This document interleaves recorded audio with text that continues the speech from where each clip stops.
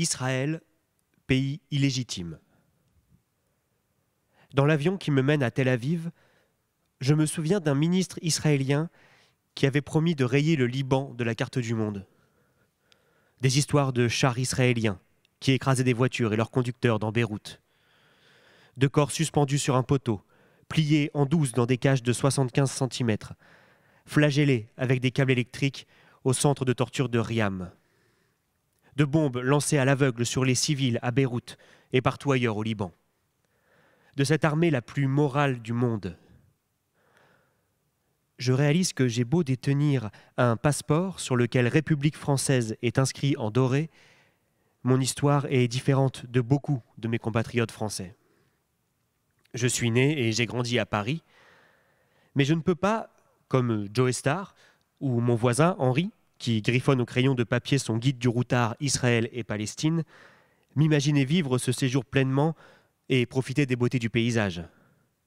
Être un simple touriste je voudrais, moi aussi, visiter la Terre Sainte et acheter des cartes postales, porter une casquette et mettre un peu de crème solaire, car vous savez, Israël, c'est formidable, mais il y fait une de ces chaleurs. Seulement, durant ce vol, mon identité française se transforme peu à peu en libanaise sans que je le veuille, sans que je puisse la contrôler. Dans mon esprit, Israël redevient Israël, ce pays illégitime position du missionnaire. À force d'entendre parler d'Israël depuis que je suis petit, haïr ce pays à tout va, le voir condamné de tous les maux de la planète, je n'ai eu qu'une seule envie, m'y rendre. Adolescent, je m'interdisais de manger chez l'un des traiteurs de la rue des Rosiers. Je pensais qu'acheter un simple falafel certifié Beddin finançait directement Tsahal et faisait déjà de moi un collabo. À l'âge de 19 ans, je suis parti m'installer au Liban, persuadé de libérer la Palestine. J'élaborais des théories sur comment s'organiser pour que les Israéliens, les Palestiniens et les Libanais vivent ensemble. Je voulais que les Mizraïm, les Juifs orientaux, reviennent vivre dans leur pays d'origine, que les Israéliens deviennent Palestiniens, qu'on apprenne l'hébreu au Liban. Je me transformais peu à peu en personnage fou digne d'un roman de Philippe Roth. Un jour, au beau milieu de la mer, j'ai réalisé à quel point j'étais devenu dingue. J'ai failli me noyer. Je me suis réfugié dans l'art où je pouvais faire coucher un Premier ministre israélien et une chanteuse de pop libanaise en position du missionnaire sans que personne ne trouve rien à redire. J'avais compris que jamais rien n'arrêterait la guerre entre ces pays, entre ces peuples. Depuis, combien de fois ai-je annoncé mon départ à mes parents? Et combien de fois m'en ont-ils empêché Il n'y a pas d'autre destination sur terre qu'Israël? Tu sais ce qu'Israël a fait à notre, à ton pays? Tu veux qu'on te raconte l'histoire des Palestiniens? Le Liban n'est peut-être pas assez bien pour toi? Tu veux mourir en prison? Tu sais ce que c'est, la prison au Liban? Il n'y a pas pire pays qu'Israël. Ma mère me menaçait de m'envoyer chez son grand frère qui avait combattu auprès des Palestiniens pendant la guerre du Liban. À chaque fois, je claquais la porte de la maison et je me demandais comment il était possible de me disputer avec ma famille sur un tel sujet. Pourquoi n'étais-je pas comme les autres à insulter ce pays et à ne pas vouloir y aller? Ce serait pourtant simple. Pas besoin d'avoir fait de grandes études pour comprendre que lorsqu'on est libanais, Israël on n'y va pas. Le texte que l'on vient d'entendre est lu par Léon Bonafé, est extrait de Beyrouth, entre parenthèses. C'est votre texte, Sabil Roussoub. On vous avait reçu ici même il y a deux ans pour euh, Le Nez Juif, votre premier roman. Je me souviens vous avoir posé la question sur Alep, le personnage qui était en quête euh, d'identité, savoir s'il vous ressemblait un peu, beaucoup, ou pas du tout. Vous étiez resté un petit peu dans le vague, vous avez dit oui, mais c'est un roman, euh, non, c'est une fiction, une autofiction Euh. Alors celui-ci, là, ce, jeune homme qui vit à Paris, qui a un passeport français, qui a, une famille libanaise et qui s'apprête à, partir pour, euh, pour Israël et enfreindre la, règle. Cette fois-ci, c'est toujours un jeu flou, c'est un jeu affirmé, assumé. Qui est-il, ce, cet homme qui dit je bah, Déjà, merci pour la lecture. C'est toujours assez hallucinant d'entendre son texte lu, et tu le lis très bien. Et, et alors pour ça, non, c'est toujours un jeu flou. Euh, c'est toujours de l'autofiction. Je me pose toujours cette même question au début du bouquin de est-ce que je vais me raconter vraiment ou est-ce que je vais, euh, bah, est-ce que je vais tricher parce que c'est ça finalement que je fais.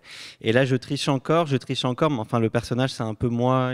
Voilà, c'est un espèce de, mélange. On va trouver plein de points communs. Comme je parle de photos, évidemment, je parle de photos que j'ai faites dans le bouquin. Euh, donc c'est moi et pas moi parce qu'en fait, le fait que ça soit pas moi me permet d'aller ailleurs dans le bouquin aussi, de le finir comme il est fini parce que je j'ai pas vécu les choses comme le narrateur l'a vécu et euh, il y y a beaucoup de fantasmes un peu dans le livre. J'exagère tout, on va dire.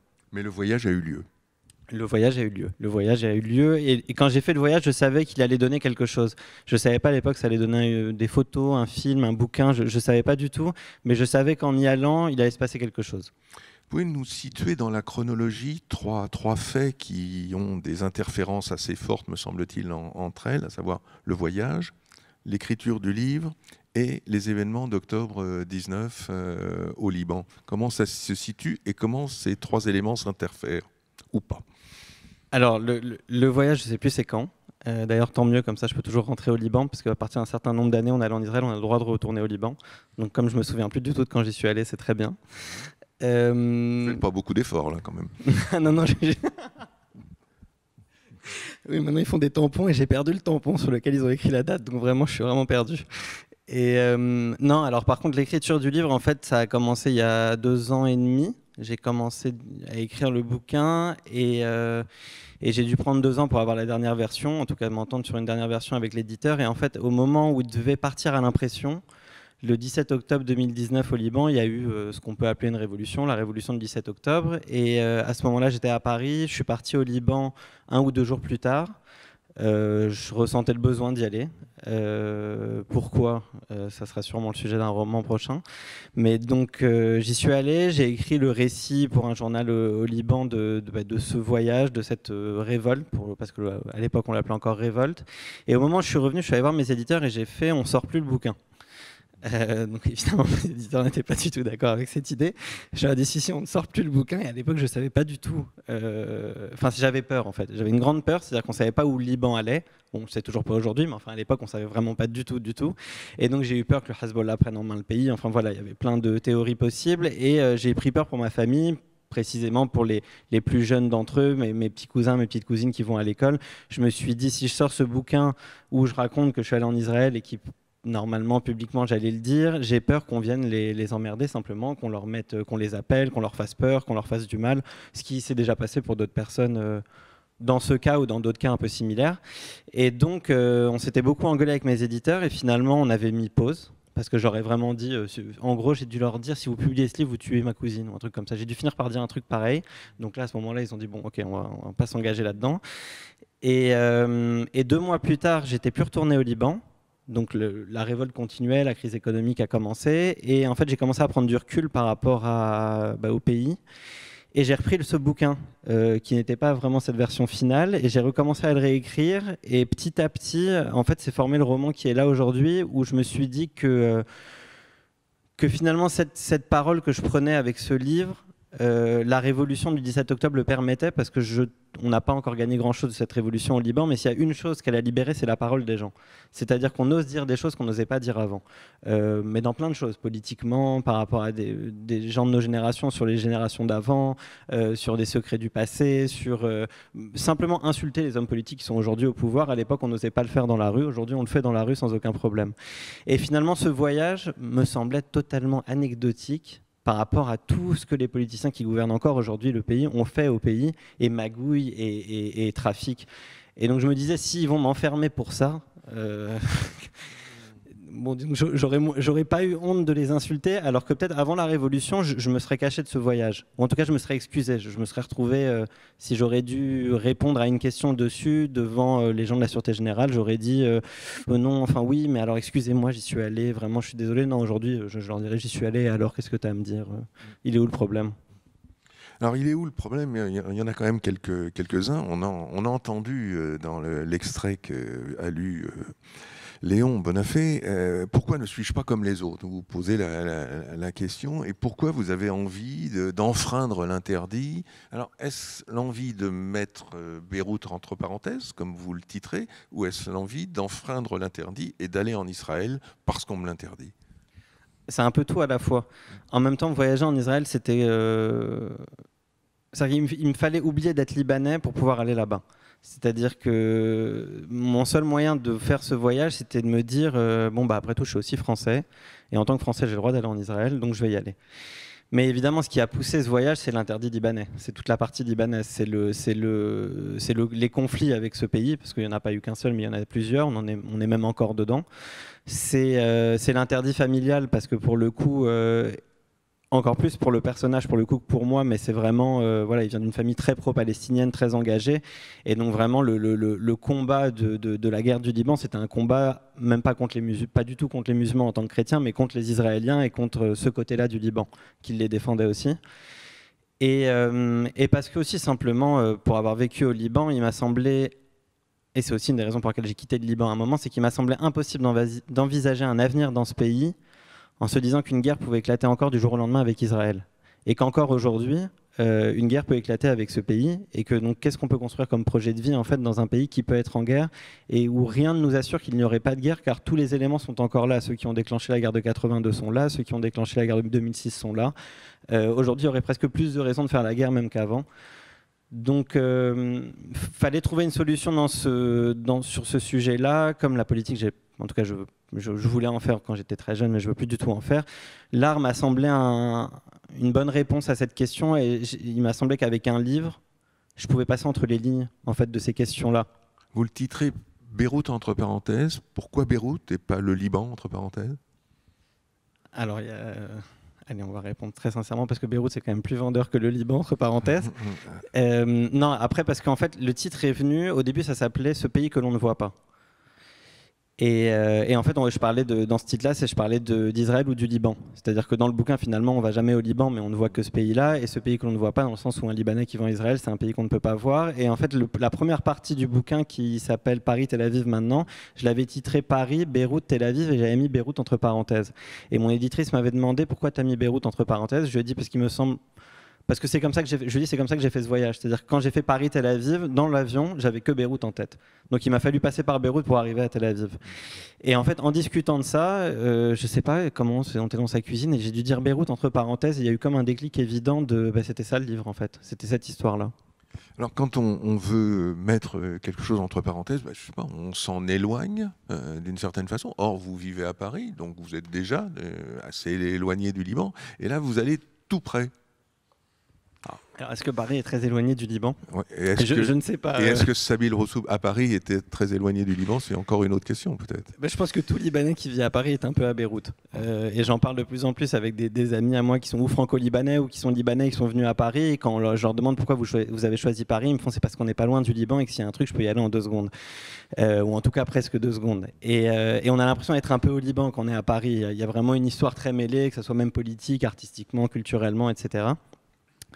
Donc, euh, j'ai perdu la question. Non, la, question, c'est est-ce que lorsqu'on veut fuir quelque chose ou lorsqu'on veut le mettre entre parenthèses, est-ce que en s'en rapprochant, en étant à la frontière immédiate, est-ce que c'est le meilleur moyen? Alors qu'on est déjà, a priori, géographiquement au moins, éloigné. Alors, oui, c'est la fin du bouquin, ça. Euh, oui, alors, pour répondre à la première question, d'ailleurs, ça c'est quelque chose que je n'ai pas fait. Je me suis pas retrouvé à la frontière du Liban. J'avais besoin de ce personnage pour justement l'emmener à, cet endroit-là. Et euh, oui, euh, oui, oui. Alors, je, je, peux prendre un bouquin? Par exemple, celui-là. Celui-là, c'est pas mal. Ben, en fait, tout est là dans la citation que j'ai mis au début de la troisième partie. Les racines sont utiles pour deux choses, les fuir et les retrouver. J'aurais pu vous montrer ma fiche, c'est exactement ce qui est marqué là. J'ai toujours copié sur mon voisin, vous voyez. Et euh, ben voilà, en fait, le, ce, bouquin, c'est ça. C'est une personne qui cherche à fuir euh, absolument son identité et qui finalement est rattrapée totalement par, euh, par elle. Et, Et pour le coup, c'est moins, c'est moins ce que j'ai fait avec le voyage parce que je, je savais très bien, moi, quand j'y suis allé, que qu'au fond, c'était aller encore plus loin dans ma libanité qu'aller là-bas. C'était devenir encore plus libanais que je l'étais d'aller en Israël. Parce que finalement, pour moi, j'allais mettre les mains dedans. Quoi. J'allais mettre les mains dans le conflit. J'allais me confronter aux, gens qui avaient tiré sur ce pays, qui avaient confronté bah, d'une certaine façon ma famille. Donc je savais que qu'en allant là-bas, finalement, une fois que j'avais fait ce voyage, j'allais revenir encore plus libanais qu'avant, bizarrement. Alors, le, jeune homme qui, s'en va vers, Israël, euh, on prend l'avion et se retrouve au, contrôle de police, et c'est la, première partie du, livre. Il a affaire au service de sécurité, dont on connaît la, rudesse euh, et la, violence euh, dans les propos, en tous les cas, pas, parfois, et pas que dans les propos, parfois également. Vous, vous en faites un moment qui est plutôt, qui froise le burlesque, l'absurde, c'est des moments très, très drôles. Pourquoi avoir infléchi? Parce que j'imagine que c'est pas toujours ça et c'est peut-être pas ce que vous avez vécu. Or, c'est ce que vit le personnage. C'est-à-dire une scène plutôt burlesque plutôt qu'une scène, même si elle est violente, elle, elle, elle reste drôle. Ce choix d'atténuer, d'adoucir. Euh, alors, il est venu de plusieurs, de, plusieurs façons. La première, la première version que j'ai écrite de ce bouquin n'était pas du tout ça comme histoire. C'était l'histoire d'une mère libanaise qui perd son fils libanais en Israël sous une bombe, sous des missiles libanais. C'était totalement dramatique. La fille, euh, la femme allait dans l'appartement de son fils et ensuite elle se remémorait son fils dans l'appartement. Cette première version, je elle n'était pas du tout drôle d'ailleurs. Et je l'ai envoyée à mes éditeurs et je l'ai fait lire à ma compagne. Ma compagne m'a dit Qu'est-ce qui t'arrive, Sabine euh, Qu'est-ce qui se passe? Et mon éditrice m'a dit Je te reconnais pas. Sachant que mon éditeur a beaucoup aimé. Bon, alors euh, j'ai laissé couler un peu et c'est vrai que petit à petit j'ai réalisé que je me reconnaissais pas non plus et que j'avais perdu mon humour et qu'il fallait retrouver ça dans l'écriture. Fallait retrouver ça dans l'écriture euh, parce qu'en fait c'est peut-être c'est un peu comme la continuité du premier bouquin, c'est-à-dire que j'ai lu un très bel article il y a 2-3 jours sur le rire, c'était s'appelait le rire de l'exilé. C'était un article de Libé qui racontait pourquoi justement les, exilés ou les enfants d'exilés, quand ils écrivaient sur leur pays, utilisaient l'humour pour en parler. Et je pense que la chance qu'on a de ne pas y être directement, de ne pas être touché par le conflit directement, par les événements qui s'y passent, euh, nous permet d'avoir de l'humour et de parler autrement de ce conflit. Parce que ce que je lis au quotidien en général du Liban, d'Israël, de la Palestine, c'est plutôt dramatique. Tout ce que j'ai souvent lu, en tout cas, c'était plutôt triste. Euh, euh, ce que je lis encore aujourd'hui est assez triste. Qu'est-ce que l'idée, c'était comment je peux raconter cette histoire autrement? Et l'humour, c'est une façon de la raconter autrement. J'en ai vu, j'ai vu des films qui, en racontent, qui en parlent avec humour. Il y a Avi Mograbi, le réalisateur israélien, il y a Elia Suleiman, le réalisateur palestinien, qui mettent toujours de l'humour. C'est vrai que dans les livres, je l'ai souvent moins trouvé. Euh, et, finalement, il y avait une brèche et ça me ressemble pour le coup. Euh, c'est vrai que dans la vraie vie, je suis quelqu'un plutôt quelqu'un de joyeux que quelqu'un de triste. Donc finalement, j'avais besoin de ça pour euh, et me retrouver et raconter cette histoire-là et faire passer de manière plus légère des sujets qui sont trop sérieux. ouais. Alors, l'homme euh, qui, utilise l'humour, c'est aussi un homme d'image. Euh, vous êtes photographe, euh, vous, êtes, vous avez dirigé le, festival du film de, Beyrouth, vous avez été commissaire de l'exposition C'est Beyrouth à, Paris, à l'Institut des, cultures d'islam. donc, l'image est importante, la photographie est importante. Et un épisode dans, dans le livre, au moment de la passage à la sécurité où on évoque justement les, photos. Alors une série de photos, euh, photos qui sont, représentent des, personnages qu'on voit de face, de trois quarts, de dos. On peut reconnaître des hommes, des femmes, des, enfants, mais ils sont tous revêtus la tête d'un kéfier. On ne voit pas leur visage. Vous dites dans le livre que ces photos sont des personnes de, votre famille. Vous dites aussi que c'est des photos que vous avez reniées. Alors bon, euh, vous les avez reniées, mais en même temps, elles sont dans le livre. C'est-à-dire vous les avez publiées dans le livre. Donc, vous en êtes où avec ces, photos? Elles sont toujours reniées? Elles sont réhabilitées? Vous les aimez bien? Vous les aimez plus? Euh, Qu'en est-il? Je, je les aime quand elles évoluent comme ça. C'est-à-dire que la première série, c'était une série de 12 photos montrées en couleur. Là, dans le bouquin, je sais plus, je crois qu'il y a 48 photos maintenant.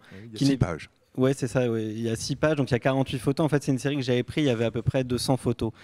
Euh, et euh, en fait, non, j'aime. En fait, ce que j'ai compris, c'est que j'aime euh, quand je peux faire une série photo et qu'après je peux la retransformer comme je veux avec le temps. C'est-à-dire que je peux changer, reprendre, refaire, reprendre, remodifier, etc.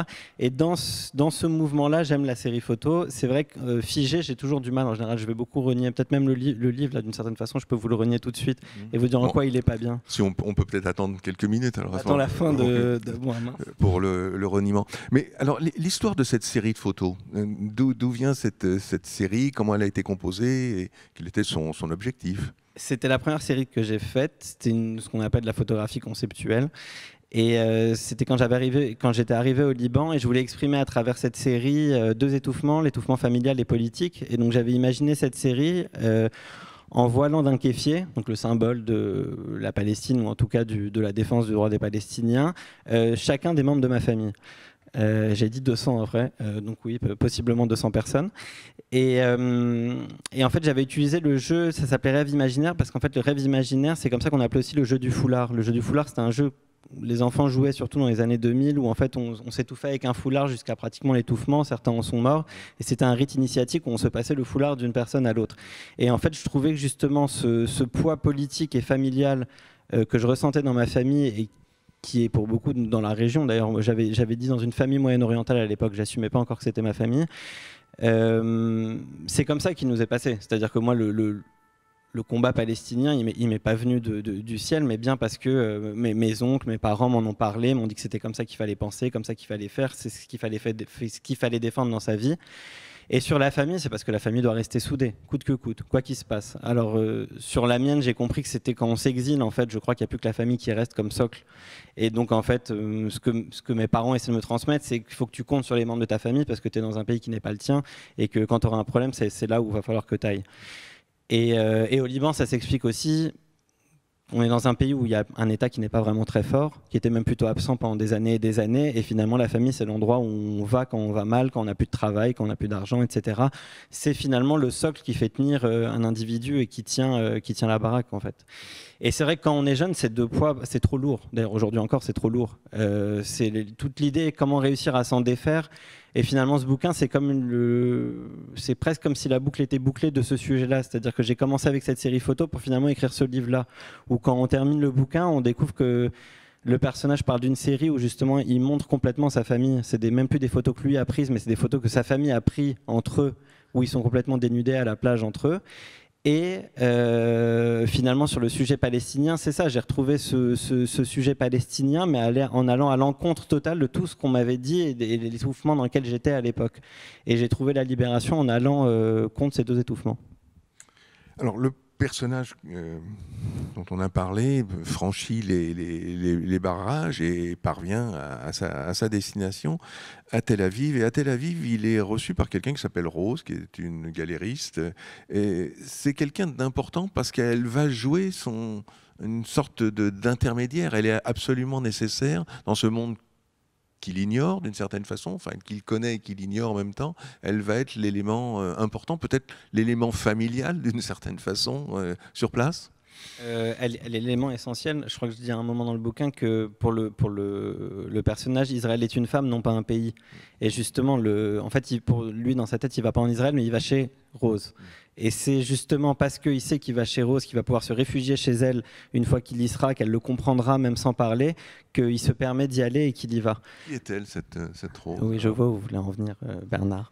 Euh, alors, Rose est le double d'une, d'une amie à moi avec qui je tenais un blog sur le site de Libération euh, le blog s'appelait En attendant la guerre. C'est une journaliste euh, franco-israélienne avec qui on a correspondu publiquement justement pendant, euh, bah oui, pendant à peu près deux ans où on échangeait. En fait, on parlait moins de, nos, de, politique que de notre quotidien où la politique forcément entrait en jeu. Parce qu'au début, moi j'habitais à Beyrouth, elle à Tel Aviv, puis moi je suis allé à Paris, mais voilà, c'était toujours dans le, dans le fil des discussions. Et c'est, et c'est effectivement la vraie personne chez qui je suis allé la première fois quand j'y suis allé. Et c'est, c'est fort en fait, parce que je, enfin, je n'ai pas réalisé en l'écrivant je le réalise maintenant en en parlant, mais la dernière fois j'ai réalisé qu'en fait c'est aussi un bouquin sur l'amitié, sur la force de l'amitié. Euh, ce que l'amitié peut permettre, euh, qui est presque plus fort que l'amour d'une certaine façon. Euh, c'est cette amitié-là très forte, très intense, qui m'a permis d'aller dépasser ces interdits c'est parce que j'avais une confiance aveugle en cette personne-là, en ce qu'elle représente. Et cette personne-là m'a fait complètement changer de visage que j'avais d'Israël. C'est-à-dire que je me disais qu'en fait, à travers cette personne-là, je voyais autre chose dans ce pays. Et, de l'importance en fait des personnes qui représentent les pays en fait et de pas voir chaque pays comme une espèce de, de, grande de grande masse mais plutôt en tant que petits individus ça rapproche ça rapproche énormément ça fait du bien en fait alors Rose, elle va vous permettre de, découvrir euh, Tel Aviv, de découvrir le, quartier arabe, de découvrir Jaffa. On va entendre un, deuxième e-, extrait lu par euh, Léon Bonafé sur ce quartier de Jaffa.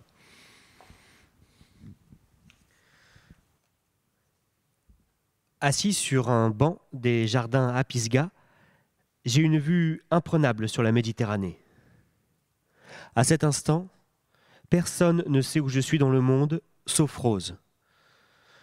Je suis un non-être, et ce sentiment m'est si agréable de n'être plus rien. J'écris à Rose Merci. Elle me répond Smiley cœur. J'ai l'impression de naître une seconde fois. Je dévale les rues piétonnes de la vieille ville de Jaffa. Elle me rappelle celle de Saïda, Tripoli ou Tyr, au Liban. Tandis que je marche, j'entends des voix me dire Et la Palestine? Tu oublies la Palestine? Les, La devanture du Férouz Café m'attire. J'aime la rue dans laquelle se trouve le café. Elle est calme, lumineuse, son trottoir est large. D'ici, on aperçoit le ciel, presque la mer. Je m'installe sur la terrasse à siroter de la taille la bière palestinienne, et à écouter de la musique libanaise. Je fredonne ces chansons d'aéroport pleines de nostalgie que ma mère écoute matin et soir et qui souvent me hérissent le poil. Ici, elle m'apporte un certain réconfort. Autour de moi, les femmes et les hommes parlent en arabe, boivent du café à la cardamome et jouent à la tolée, le backgammon. Ces odeurs et ces bruits me sont familiers je me sens à l'aise. Il faut que ce soit dans un café libanais en Israël, comme si je devais être toujours en décalage pour me sentir bien. Je pense à mon père. J'essaie de l'imaginer à cet instant. Il est probablement en train de lire le journal dans son café. Il aurait aimé se trouver ici, sur cette terrasse à Jaffa. Il aurait aimé venir avec moi en Israël, il me l'avait susurré une fois à l'oreille. Et mon grand-père maternel, qu'aurait-il fait à la même heure? Sur le toit de la maison avec sa petite casquette et ses chaussures de pêcheur, il aurait été en train de planter du thym. Je me souviens de son visage apaisé, de son calme au milieu du vacarme de la maison où je passais mes vacances d'été. Tout le monde hurlait. La porte était toujours ouverte, des gens entraient et sortaient, des voisins, des amis, des cousins lointains. Assis là, sur cette terrasse, le Liban me manquait. Ce Liban où j'ai été bercé, ce Liban où mes parents avaient préservé mes yeux d'enfant. Lorsqu'on y voyageait l'été, il ne me montrait aucune ruine, aucune destruction causée par la guerre. Ce Liban où toute ma famille riait, moi le premier, de me voir tenir la mitraillette de mon oncle. Est-ce mon enfance ou ce pays que je cherche à revoir, à reconquérir en venant en Israël? Alors Sabil, comme vous posez des bonnes questions, on va choisir celle-là. Est-ce votre pays ou votre, ou votre enfance? Non, c'est de la triche, ça, c'est mes, questions. Ça. mais oui, c'est une bonne question, je trouve le personnage, il vient chercher quoi? Son enfance, euh, le pays? Qu'est-ce qu'il vient chercher? Euh, Non, il ne sait pas ce qu'il vient chercher. Justement, il se pose des questions tout au long du, bouquin et même à la fin, finalement, c'est presque sur une ouverture, il ne sait, toujours pas ce qu'il est venu chercher. Et euh, au fond, on cherche rien en allant là-bas. moi, si je cherchais quelque chose, je pense qu'aujourd'hui, quand j'y réfléchi, si j'y suis allé, c'est parce que je fais le métier que je fais et que je savais qu'il fallait que j'aille là-bas pour continuer à exercer le métier, en tout cas de la manière la plus sincère qui me semblait euh, être pour moi. Donc voilà, il fallait que j'y aille pour écrire quelque chose là-dessus parce que c'était la suite logique de l'histoire ou de mon histoire. Euh, après, euh, on n'y cherche rien, on n'y cherche ni la paix, ni la guerre, ni rien. On va voir parce qu'on va voir, on va se confronter parce qu'on va se confronter, on va, se, on va justement pour se poser ces questions-là mais pas pour trouver des réponses. en tout cas, je n'ai aucune réponse à cette question et j'en aurai pas, je pense. Les, parents ont beaucoup protégé les, enfants lorsqu'on lit les, auteurs libanais. C'est un sujet qui revient souvent. La, guerre a été absente d'une certaine façon de leur, enfance. Je pense à Zéna Birachet, par exemple, qui, découvre la guerre d'une certaine façon après, lorsqu'elle parle du mur qui est au but de sa rue, euh, la, guerre est derrière, mais finalement dans la maison on préserve tout ça. Ça a été, vous aussi de votre cas, à distance, cette préservation de l'enfance? Euh, oui, chez Zena, c'est encore plus fort parce qu'elle était, elle était au centre de Beyrouth. Quoi. Vraiment, la guerre était euh, au-dessus de sa tête ou même autour. Et, et oui, chez, chez plusieurs amis, j'ai toujours euh, remarqué ce, point-là. Là, je le découvre de plus en plus, même avec mes parents, qui, euh, je suis en train de revenir sur leur histoire, leur arrivée à Paris en 75. Ils échangeaient beaucoup de lettres et je suis en train de revenir sur leur quotidien à l'époque. Et en fait, il était bercé par la guerre tout le temps. Euh, et, c'est vrai que moi, on n'a pratiquement jamais parlé, ou très peu, ou en grandissant de temps en temps comme ça. Et puis c'était plutôt les livres de mon père, ou ce genre de détails qui faisaient que je comprenais qu'il y avait quelque chose. Ou euh, forcément, quand j'allais au Liban, les armes de mes oncles. Là, oui, là c'est plus clair. Mais, euh, ou les barrages, pour le coup. Mais, c'est vrai qu'ils ont cherché à nous préserver. Est-ce qu'ils ont fait exprès? Je ne sais pas. Je, pense que c'est très inconscient comme je pense qu'ils avaient plus envie. Moi, je suis né en 88, donc un peu bah, plutôt à la fin de la guerre, donc je pense qu'ils ont plus envie d'en parler. Là, je sens quand j'essaie de leur en parler que c'est quand même à chaque fois. Euh, c'est dur. Ils n'ont pas, ils ont, pas envie. Les larmes montent très vite. Euh, parfois l'énervement, parfois l'agacement. Euh, il y avait quelque chose qui m'avait marqué. C'était pas que sur mes parents. Il y avait un bouquin qui était sorti sur la guerre du Liban, un très très beau livre d'ailleurs, du photographe de guerre Yann Morvan qui a passé quatre années, je crois, au Liban, de 78 à 82. Et c'était un bouquin comme ça immense. Et pour les gens de ma génération, c'est assez fou parce que euh, c'était vraiment un des premiers livres où on voyait vraiment des images. Bah, on voyait quatre années de la guerre qui nous étaient racontées à travers des images et des courts textes. Et c'était un objet. Et je me souviens qu'à l'époque, j'étais avec, euh, quand je l'avais pris, j'étais avec un écrivain libanais, Selim Nassib, qui doit avoir 70 ans, et qui était journaliste à Libé pendant la guerre euh, au Liban et qui est né au Liban, etc. Et en fait, quand je lui ai montré le livre, il a, je me souviens très bien, il a ouvert la première page il me fait non. Il a fermé, il est parti. Et quand je l'ai apporté à mes parents, exactement pareil. Ils ont fait exactement la même chose. Je leur ai dit, vous avez vu, c'est fou, regardez ce livre. C'est simple, ils ont ouvert une page, deux pages. Puis mon père a fait, oui, c'est super. Et hop, il l'a mis de côté. Donc en fait, non, je crois qu'ils veulent pas en parler. Ils veulent plus, ils veulent plus revenir dessus. Alors on revient, nous, sur votre personnage. On est à Jaffa. Vous êtes au café Férouz, pour quelqu'un qui fuit le Liban. Bon. Euh, et il rencontre, on lui fait rencontrer euh, personnage, euh, Asaf. la rencontre est assez bref dans le, bref, dans le, livre. Euh, c'est un double israélien, cet homme, cet homme qui vient d'Irak, et vous retrouvez, vous êtes très, très proches l'un de l'autre finalement. Vous n'êtes pas de la même génération, vous n'êtes pas du même pays, et puis vous vous retrouvez à, à Jaffa très, très proche. Du moins, le personnage est Asaf. Ah non, non, mais là c'est complètement moi, parce que c'est génial que vous en parliez aujourd'hui, parce qu'il s'est passé que... Euh, alors on est, de la même génération, enfin 3-4 ans près, mais euh, en fait Asaf, donc c'est il s'appelle vraiment Asaf dans la vraie vie, je crois que c'est peut-être le seul personnage, non, avec le dernier artiste israélien, Dorzleka Levi, euh, que je cite, qui ont leur vrai nom. Et, et, alors, j'ai envoyé, comme le livre n'a pas été traduit en anglais, bon, ben, j'ai envoyé le livre en français il n'a pas été traduit encore. Euh, gardons, gardons espoir.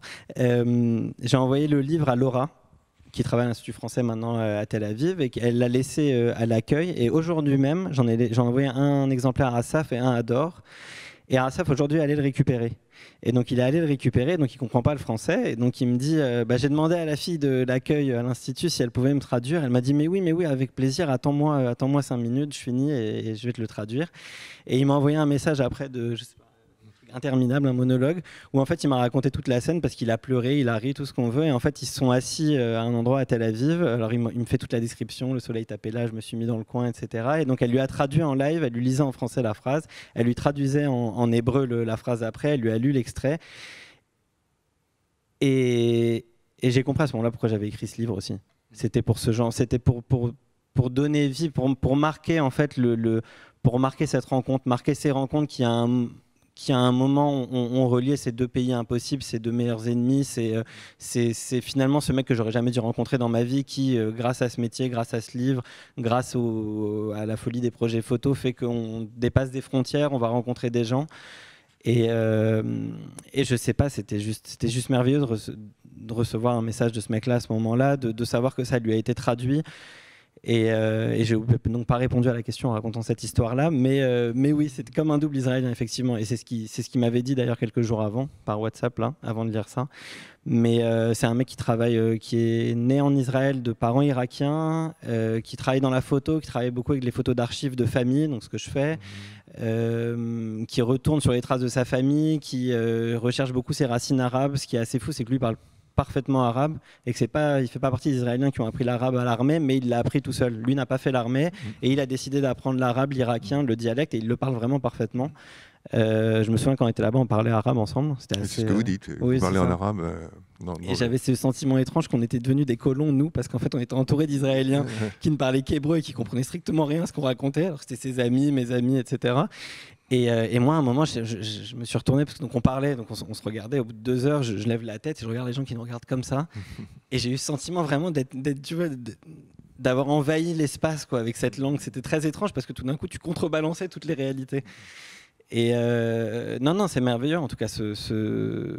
Ouais, alors cette rencontre, elle vous la ponctuez d'un poème, c'est très rare, mais il y a un poème dans le, dans le livre. Il y a la dernière strophe, c'est ceci, je la cite, Je me sentais bien, je voulais vivre à Jaffa, et je m'en suis voulu de quitter Jaffa. Je m'en suis voulu parce que je voulais vivre à Jaffa, ou je m'en suis voulu de quitter Jaffa? Après, il y a une phrase quand même. Alors j'ai récité un poème de mon père, j'ai pris peur, j'ai pris... Il a pris peur, il a pris la porte, il a pris la fuite. Euh, oui, je m'en suis voulu parce que j'aurais bien voulu rester là-bas. Ça m'aurait pas... Euh, c'est pas que ça m'aurait pas dérangé, c'est que je me sentais à ma place, bizarrement. Je sentais que ça devait être là-bas que je devais rester pendant un moment. Après, la vie a fait que j'y suis pas allé, mais j'aurais été capable d'y aller, ou peut-être je suis peut-être d'ailleurs encore capable. Il faut pas dire ça, ça bien quand on est filmé. Euh, c'est pas grave. Mais euh, ouais, si, il y avait quelque chose, quoi. Il y a, en fait, y avait j'avais l'impression d'être au cœur du conflit, enfin de mon, de, mon conflit en tout cas, euh, là-bas. L'écriture de ce livre, tout à l'heure, on en a parlé un tout petit peu, mais elle a été revue par les événements d'une certaine façon l'écriture, elle a été faite dans la continuité, elle a été fragmentée, elle a été plutôt linéaire, recomposée. Comment ça s'est construit ce, livre? Euh, Non, non, elle est fragmentée comme l'auteur, euh, c'est-à-dire que c'est une espèce de, de, de, mosaïque Ouais, une sorte de mosaïque. Je sais que le début du bouquin, au début, c'était à la fin. Et puis, mmh. puis on retrouve à la fin du livre un, passage de justement de la mère qui perdait son fils. Et donc, c'était le début de la première version. Non, non, c'est quelque chose que j'ai repris et que je, et que, je, et que je retravaille tout le temps. Et j'essaie de trouver le, la bonne façon d'amener les choses, la bonne façon de les raconter. Donc, non, non, ça a été vachement euh, et retravaillé, restructuré. Euh, euh, mais ce que, ce que j'aime bien dans les retours, c'est qu'on a l'impression que c'est écrit d'un jet. Euh, quand on le lit. Et moi, ça me fait doucement rire parce que je sais que c'est euh, tout sauf ça. C'est exactement tout sauf ça.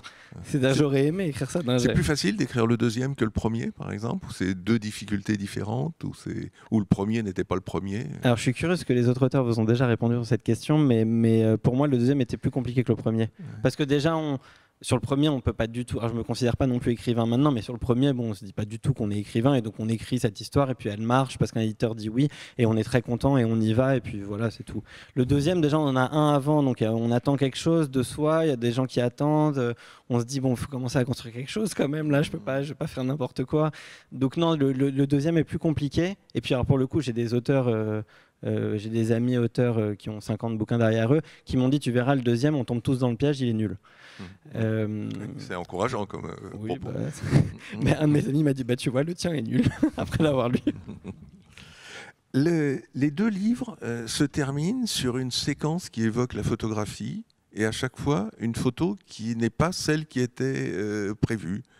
La première, euh, c'est une photo où il n'y a plus le personnage, à savoir vous, mais il n'y a plus que le décor qui est photographié, parce qu'il y a les retardateurs qui est, mis, on vous appelle et on. Et la deuxième, on, vous évoquez une retouche de, Photoshop. À chaque fois, cette fin sur retour sur la photo et sur une photo qui est soit retouchée, soit remise en cause. Oui, et c'est des photos ouvertes. C'est des photos qui donnent une interprétation libre de, de, de, la fin. La première, c'est un fond vert. Le principe du fond vert, bah, c'est qu'on y met ce qu'on veut. Mhm. Et, euh, Et la, et la, deuxième, oui, c'est la retouche de la frontière où le, où le, où le personnage s'amuse à, à, enlever les barbelés et le mur du, du, mur entre Israël et le Liban. Et donc, ça, c'est libre à interprétation, en fait. C'est une sorte de. J'ai voulu finir les, les, deux livres comme ça, avec une chute qui pouvait laisser. Euh, bah, qui pouvait laisser l'histoire se continuer, en fait, d'une certaine façon. Vous nous avez un peu menti dans le premier. Vous avez, euh, oui, vous nous aviez dit que votre deuxième roman s'appellerait La barbe islamiste. Oui, non, mais vous n'y avez pas cru, ça, Bernard. Ah, je ne sais pas. Moi, je, je, lis ce que je, ce que je vois sous, sous mes yeux. vous savez bien qu'il ne faut pas croire les auteurs. Ah bon? Non, mais je, je, ne savais pas.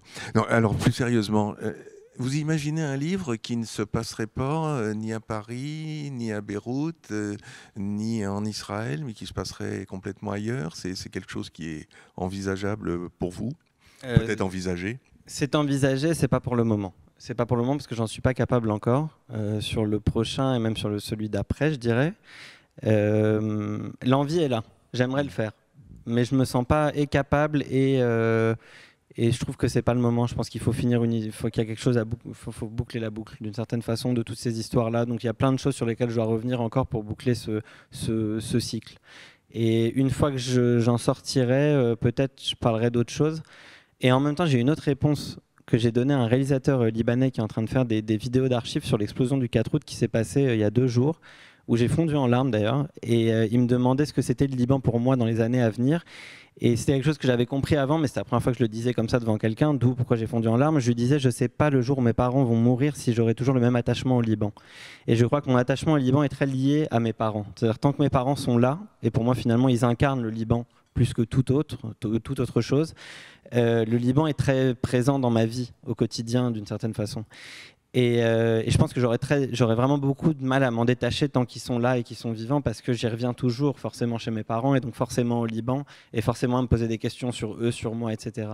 Et je pense que si un jour, euh, j'espère le plus, le, plus, loin possible, ils, bah, ils, partent, je pense que je serais peut-être libéré de quelque chose par rapport au pays en tout cas.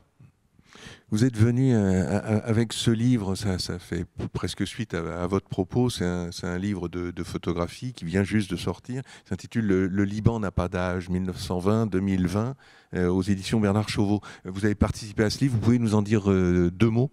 Oui, c'est un livre qui a au début été là pour fêter le centenaire du Liban, enfin les cent ans du Liban. Euh, quand on m'avait proposé ça, moi, je, trouve que le Liban n'a jamais été indépendant. Donc, j'avais proposé un texte qui s'appelait justement Le Liban n'a pas d'âge et ils ont eu euh, l'élégance de, reprendre le titre pour, euh, pour le livre. Et en fait, c'est un livre de photos où une trentaine de photographes libanais, ils leur ont demandé, Sylvie Andreu et l'éditeur Bernard Chauveau, de sélectionner trois images à chaque fois qui représentaient leur Liban et d'ajouter un petit texte avec où ils, pouvaient ou décrire l'image ou faire écrire quelqu'un dessus ou ou ce qu'il voulait en fait tout simplement et, euh, et voilà c'est comme une sorte de panorama de, de la photographie libanaise et, euh, et, du Liban en fait tout simplement.